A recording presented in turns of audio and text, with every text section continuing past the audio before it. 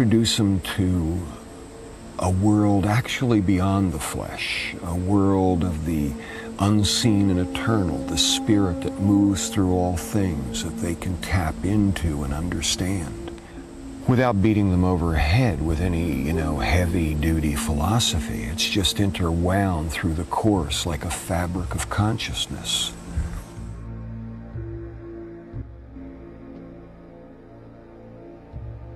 It gave me um, a feeling that I can keep on trying at things and finally succeed. So not just with fire, but in schoolwork, if I'm working on something, if I keep on trying, I'll succeed. For some of them, it's something that they've craved their whole life. And they come here and they live it for a week or two, and they go home and we get letters from them that talk about how they feel more themselves than they ever have before. And if for nothing else, it's worth it for that.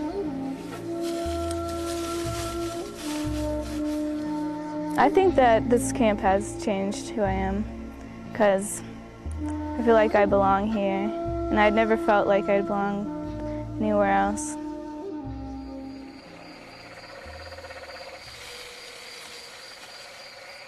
To me, these are the kids who are going to become the future poets, philosophers, writers, because they're living it.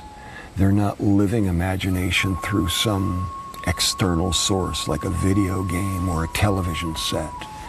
And that approach to reality, that intensity, leads them to live such full lives. It's like awakening something that has been stolen from them, giving them back their childhood, but also giving them back a life that is full of passion, intrigue, adventure, it has changed my life because I, I really feel in touch with my inner self, the earth, and the kid I came with. I mean, I saw a new side that I'd never seen before. It's totally different than normal school. You learn from experiences. The instructors don't always give you the exact answer. They show you how to find the answer yourself, and then you remember it longer than if they just tell you. When I came here, I learned all about the the plants and the animals and how they interact with each other and um, how, um, how close they are to us. And we, we need them to survive. I see kids go through our programs and they, you know, they learn how to make fire, right? They've only, they've only heard about making fire and they go make fire. They create it. And that gets them so excited that they've been able to do something like that. Yeah getting some dust. After a little while, I started getting the form down. Finally, I got fire, which was just a great feeling because I had never gotten fire before.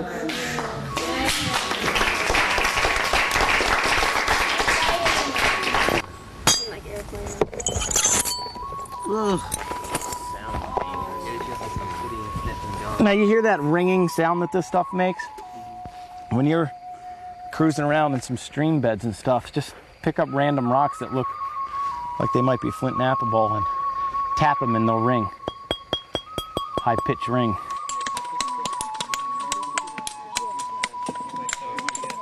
I learned a lot from the first night. And just my own experience taught me a lot more than I think anyone could have just lectured me on.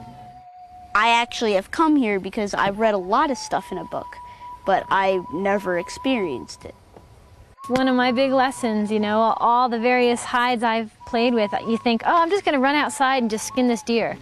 And it can take hours to do it well. It's like magic because you're transforming it. Yeah.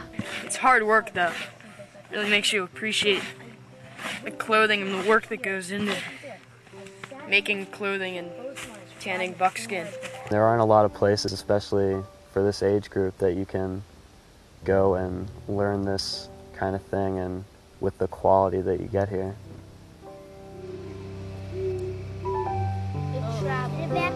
It evaporates. What happens to the water when I cook it inside a stew? The water is still inside there.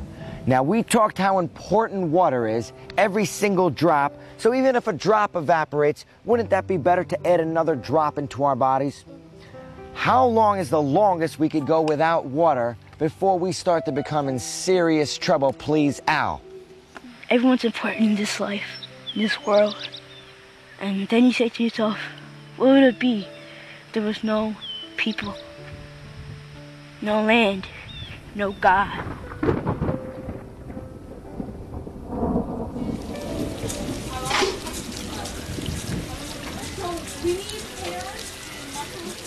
I come from a place of wanting to give, especially younger folks, teenagers, a chance, an opportunity to, to know that they can make a difference and that there's other ways to look at the world.